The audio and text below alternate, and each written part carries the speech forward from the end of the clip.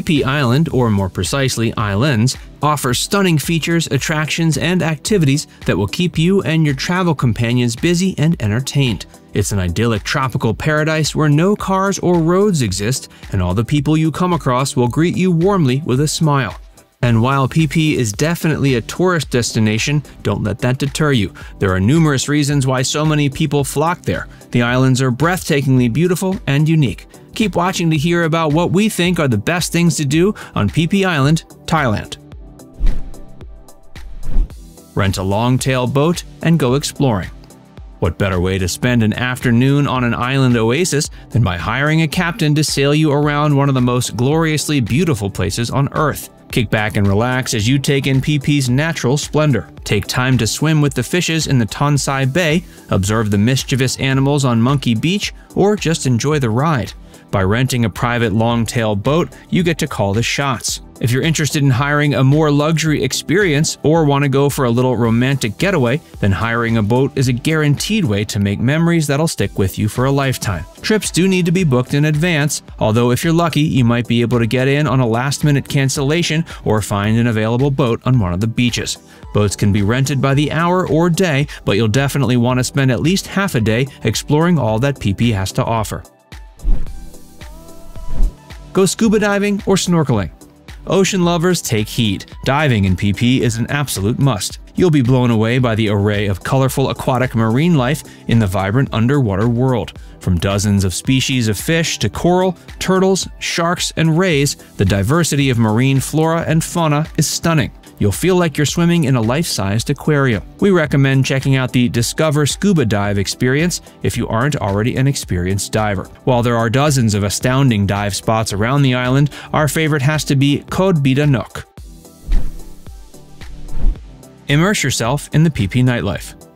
Geared towards young, party-hardy types, backpackers, and newlyweds, Phi is one of Thailand's liveliest and boisterous islands.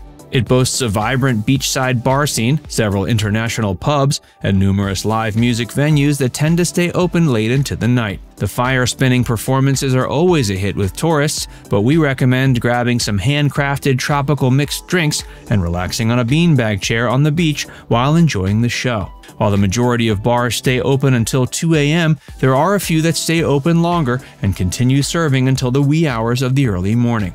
If the litany of bar options are a bit overwhelming, you can always grab a Thai bucket of your favorite cocktail and simply hop from one establishment to the next. These delicious buckets of booze are fairly inexpensive and great for sharing.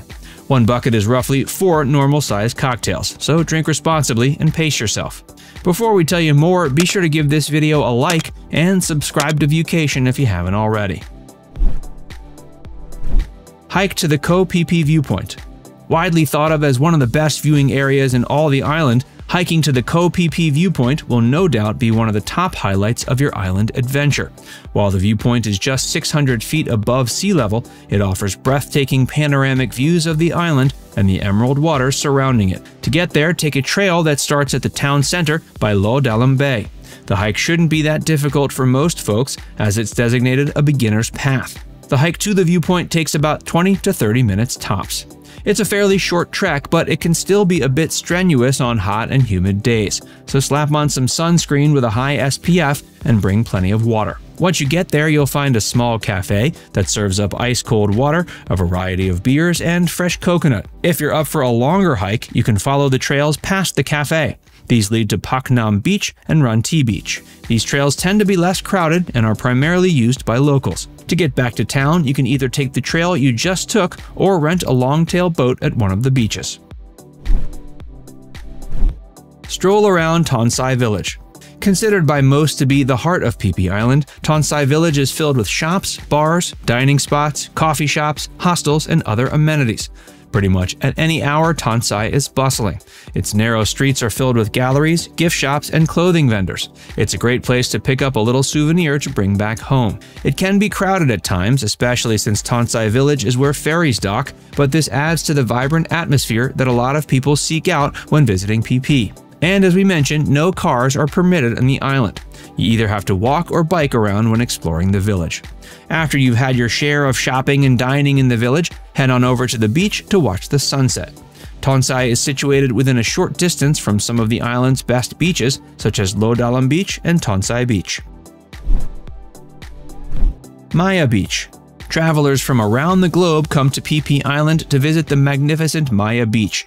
This inlet features crystal clear waters and towering cliffs, and was featured in the 2000 Leonardo DiCaprio led film The Beach. As soon as you lay your eyes on Maya Beach, you'll immediately understand why many consider it to be paradise. In 2018, the beach was closed to tourists so it could be protected.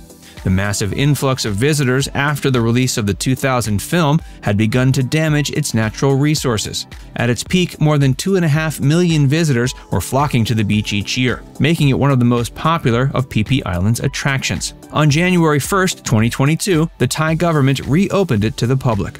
Please be respectful and make sure you stay within designated areas if you visit. Pack out all your trash and do your part to help preserve this beautifully iconic attraction. Bamboo and Mosquito Islands. Island hopping around Phi is one of the best ways to experience the gorgeous scenery found in Thailand. Bamboo Island is located 3 miles from the northern edge of Phi. This charming yet relatively small island is blanketed with a thick cover of bamboo trees, hence the name. The bamboo provides a fair amount of shade to shield you from the sun's blazing heat. You can snorkel or scuba dive off the coast over at the famed Hin Klang Coral Reef. The beaches are also quite lovely, especially since they tend to have far fewer people than elsewhere in the Phi Island area. Mosquito Island is another remote locale just a couple miles off the main Phi Island. It's uninhabited, but unfortunately it's also fallen victim to over-tourism. Because of this, you can no longer snorkel or visit the island at the moment, but you can still marvel at it while sailing around on a long-tail boat. Watch a Muay Thai fight. This combat sport is popular all throughout Thailand. Matches are held in just about every city in the nation. Over the years, it's grown to become one of Thailand's most famous and beloved pastimes. Phi Phi Island is home to a few different Muay Thai rings where you can catch a match or even participate in one if you're feeling up to it. If you want to see a fight while on Phi, head on over to the Reggae Bar. This incredibly touristy yet still delightful venue can be found easily by following the sound of the cheering crowds and start bells. Matches are held nightly, and you can enjoy a nice cold drink while taking in the fight. Now it's time to hear from you. Have you ever been to Phi? Do you want to go? Let us know in the comments section below. And before you go, make sure you give this video a like and subscribe to Viewcation if you haven't already. Click the bell icon to stay updated on all our latest content.